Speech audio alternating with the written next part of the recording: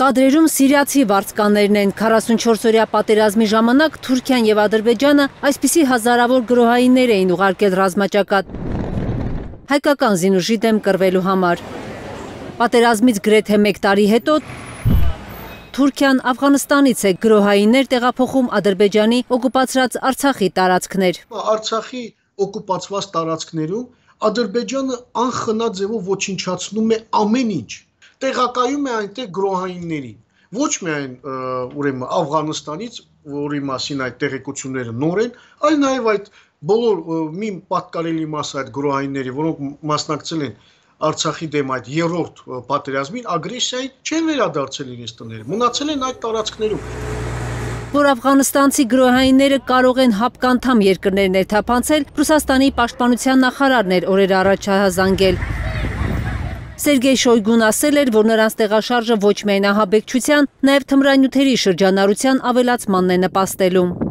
Գրոհայիններով Արցախի օկուպացված տարածքները բնակեցնելը թուրքական ձեռագիր է։ Հայ-թուրքագետներն են փաստում։ Սիրիայի հյուսիսում դա նրանց հաջողվել է։ Քրդաբնակ տարածքներում այսօր դժվար է անգամ մեկ քուրդ գտնել։ Ադրբեջանը այս դեպքում հավանաբար գործելով Թուրքիայի հետ համագործակցությամբ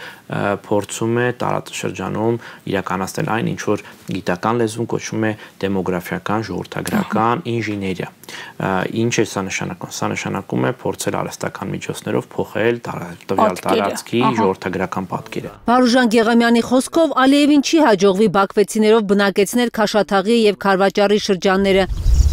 որոնք այսօր դեռ ռազմաճակատի գիծ են համարվում։ Ինչ է մնում նրան։ Բերել այլ վայրերից ու բնակեցնել Հայաստանի սահմանների մոտ։ Գեղամյանը չի բացառում, որ մի օր էլ տեսնենք, թե ինչպես են գրոհայիններն իրենց ընտանիքներով հայտնվում մեր բնակավայրերում։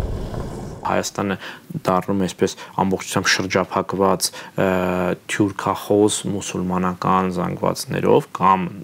իսլամադավան զանգվածներով, որոնք որ ունեն լոյալություն երկրի թուրքական իշխանություններին եւ այս պարագայում դա եւս մեկ անգամ վերահաստատում է այն փաստը, որ մենք գործունենք ոչ թե տարածաշրջանային ապա շրջափակման, այլ շրջափակման հետ նաեւ ժողովրդագրական իմաստով։ Աֆղանստանցի գրոհայիններին Ադրբեջան տեղափոխելով Թուրքիան նաև իր դիրքերն է ամրապնդում Ադրբեջանում, ասում է Արցախի գլխավոր դիվանագետը։ Չնայած եղբայրության մասին հայտարարություններին ըստ Բաբայանի Էրդողանը բռի մեջ է ուզում պահել Ալիևին, իրենից առանձին գործելու դեպքում զինված գրոհայիներով նրան սանձելու համար որpիսի նաև Ադրբեջանին սանձազերծած պահի հարկ եղած դեպքում ուրեմն համապատասխան ոցակներ կիրառի